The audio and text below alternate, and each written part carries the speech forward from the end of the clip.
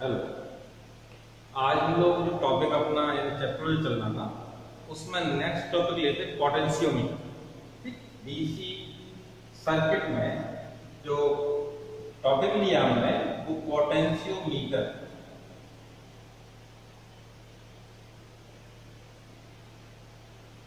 विभव मापी पहले हमें यह समझना पड़ेगा कि विभव मापी क्या है? तो पोटेंशियोमीटर एक उपकरण का नाम है, या का नाम है, जिसके द्वारा किन्हीं दो बिंदु, यानी सर्किट के किन्हीं दो बिंदु पर विभवांतर कितना है इसकी हम गणना कर सकते हैं। ठीक? साथ ही साथ किसी भी सेल का विद्युत वाहक बल कितना है, इसका भी हम पता लगा सकते हैं। और दो सेलों के विद्युत वाहक बलों की तुलना भी कर सकते हैं। इससे संबंध में इंटरमीडिएट के पाठ्यक्रम में दो प्रैक्टिकल भी एक तो यह है कि सेल का विद्युत वाहक बल निकालना और दूसरा है दो सेलों के विद्युत वाहक बलों की तुलना। तो यहाँ पर आज हम लोग पहले पढ़ेंगे पोटेंशियोमीटर की संरचना। अभी हमने समझा पोटेंशियोमीटर होता क्या है? हम देखेंगे पोटेंशियोमीटर की संरचना। तो पोटेंशियोमीटर में एक प्लेटफॉर्म ये लकड़ी का बोर्ड इसमें यहाँ पर ऊपर एक स्केल लगा रहता है। स्केल में ज़ीरो से लेकर के हंड्रेड तक सेंटीमीटर में मार्क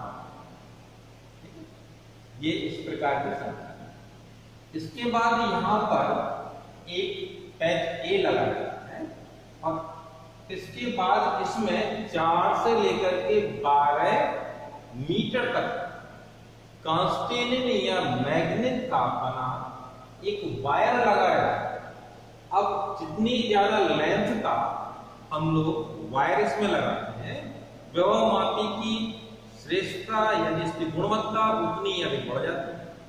लेकिन कम से कम इसमें चार मीटर का और अधिकतम लोग 12 मीटर तक का वायर उपयोग अब 12 मीटर का वायर इस प्लेटफॉर्म पर हमें सेट करना है लकड़ी के प्लेटफॉर्म पर तो हम लोग इसको इस क्रम में, जैसे ये लगा दिया वायर दूसरा ये लगा दिया, तीसरा ये लगा दिया, चौथा, पांचवा, छठवा, सातवा, हम लोग सात मीटर।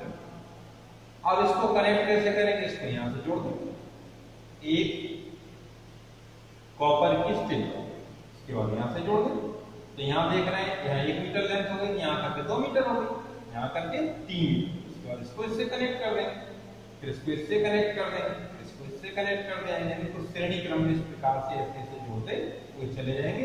और अंत में मान लो यहाँ पर संयोजी फैस फिर यहाँ पर ये इस प्रकार से देखा मैंने एक, दो, तीन, चार, पाँच, छह, सात, आठ। यानी आठ मीटर तक का वायर हमने इस प्रकार से हमें अब इसमें अगला जो काम किया जाता इसके हम सर्किट को समझ। ये तो पोटेंशियल मीटर का प्लेटफॉर्म हो गया इसमें सर्किट कैसे बना तो इसमें दो सर्किट होते एक होता प्राइमरी सर्किट और एक होता सेकेंडरी तो प्राइमरी सर्किट ए और बी के बीच बना इसमें क्या करते हैं? हम लोग इसमें बैटरी का प्रयोग करते हैं। एक रेस्टेट लगाते हैं और एक लगाते हैं। इसके बाद हम दूसरा सर्किट तैयार करते हैं। दूसरे सर्किट में यहाँ पर अब हम इसको इस पर बना के दिखाते हैं। इस तरीके से हमने ये लगाया, यहाँ एक बैटरी लगाई इसका धन टर्मिनल यहाँ पर। और यहाँ पर एक कुंजी लगाकर इसको बी से कनेक्ट कर दिया, इस प्रकार से प्राइमरी सर्किट बना। अब सेकेंडरी सर्किट बनाने के लिए हम ये अब यहाँ पर हम वो सेल ले लेंगे जिसका हमें इलेक्ट्रोमोटिव फोर्स यहाँ पर हमने एक कुंजी लगा, इसके बाद इसको ले जाएँगे एक स्लाइड की मदद से। इस प्रकार का हम अब इसमें ये संरचना होगी, इसके सर्किट के बारे में जानकारी अब ये इसका सिद्धांत क्या है? काम कैसे करें? इसको समझें। मान लिया, एक हमने सर्किट अलग से बना करके दिखाया, इसमें एक बैटरी P1 विद्युत भाग बल की लगी हुई है, एक ये P2 की लगी हुई है, यहाँ पर एक कुंडी लगा दी है, यहाँ पर हमने एक गैल्वेनोमीटर लगा और इसमें एक एक्सटर्नल रेजिस्टेंस जो है वो आर इस सर्किट से हम देखते इस सर्किट के आधार पर हम इस पोटेंशियोमीटर के सिद्धांत को समझें अगर देखें इस गैल्वेनोमीटर में पहले विक्षेप पॉजिटिव में आता ठीक?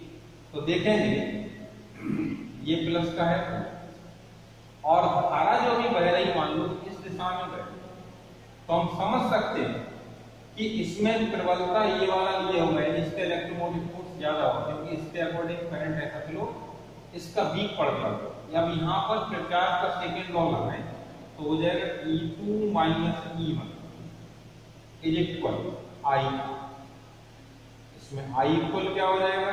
E two minus E one upon अब दूसरी बात, अगर हम ये कहें कि अगर करंट ऐसा फ्लो ना होगा, किस तरीके से फ्लो हो रहा होगा? तो इसमें ये फॉर्मूला क्या बन जाता है? E one minus E two is equal I R तो यहाँ पर आई इक्वल क्या था? E one minus E two upon इन दोनों में अंतर समझ पा रहे हैं आप। अगर मान लो कोई एक स्थिति हम अब ऐसी लाए, इनको समायोजित कर करके कि इसमें धारा बहे ही नहीं। ऐसी स्थिति में यहाँ आई की वैल्यू ज़ीरो रख देंगे। चाहे इक्वेशन को ले लेते हैं अगर मान लो कंडीशन ऐसी बन गई, इसमें करंट फ्लो हो ही नहीं रहा है, और करंट फ्लो नहीं होना तो आई की वैल्यू कितनी रख देंगे? ज़ीरो। तो ज़ीरो इक्वल क्या हो जाएगा? E two minus E one ठीक है? और आर यहाँ ज़ीरो से मल्टीप्लाई तो अब ई वन इक्वल क्या हो जाएगा? यानी जब दोनों ये सेल के इलेक्ट्रोमोटिव फोर्स अगर आपस में बराबर हो जाए तो इसमें धारा नहीं होगी। इसी सिद्धांत का उपयोग इसमें करते हैं। कैसे? अगर यहाँ पर हम देखें, यहाँ पर अगर हम एक गैल्वेनोमीटर लगाते हैं, जी। और गैलोमीटर लगाने के बाद, अब हम देखें कि इसमें स्लाइडिंग जॉकी को आगे बढ़ाते चले जाए आगे बढ़ाने पर क्या होगा? इसमें यहाँ से अगर मान लो यहाँ तक आ, इसकी लेंथ एल है तो यहाँ दोनों के बीच में जो पोटेंशियल डिफरेंस होगा, ठीक है v इक्वल होगा के एल आप समझ रहे कि अगर इतनी लेंथ के लिए हम देखें, इस स्लाइडिंग जॉकी को यहाँ पर लगा दें तो a और इस बिंदु को मान लें हम c तो a और सी के बीच पोटेंशियल डिफरेंस के एल इक्वल हो जाएगा। तो ये पोटेंशियल डिफरेंस अगर इस बैटरी जो बाहर लगी हुई है सेल जिसका इलेक्ट्रोमोटिव फोर्स ज्ञात करना है अगर इसके इक्वल हो जाए ई इक्वल ही हो जाए तो कैलोमीटर में धारा नहीं रहेगी इसी का उपयोग करते रहेंगे यही सिद्धांत इसमें लग गए इसका उपयोग करते हैं स्लाइडिंग जो भी रखते हैं, धीमे धीमे करके उसको आगे बढ़ाते जाते एक अवस्था को लाते हैं तो जहाँ पर ये गैलोमीटर महीने वाली धारा ज़ीरो हो जाती है, उस समय हम इसमें रीडिंग पढ़ते हैं। ठीक? मान लो इस लेंथ यानी वायर जो थे इसके मान लो, ये 2.5 मीटर के वायर पर यानी 2.4 सॉरी 2.4 पर मान लो, यहाँ पर नल पॉइंट आ है। तो 2.4 इनटू के इज़ इक्वल क्या आ जाएगा? ई इस प्रकार से हम इलेक्ट्रोमोटिव फोर्स निकाल सकते हैं। अब के को कैसे निकालें? तो के में ये होगा कि टोटल पोटेंशियल जो हमने प्राइमरी सर्किट में निकाल लगाया, ठीक, मान लो वो वी डैश था, ठीक? और टोटल लेंथ इसकी जो थी वो एल थी कैपिटल है के की वैल्यू जो हो जाएगी, वो 2.4 इनटू यहाँ लगोगे, d dash by l is equally तो इसको हम, ठीक, इसको विभव मापी का, विभव प्रवणता गुणांक है देखिए, इसकी वैल्यू निकाल करके इस प्रकार से v को ज्ञात कर सकते तो ये पोटेंशियोमीटर के बारे में आज हमने जानकारी दी।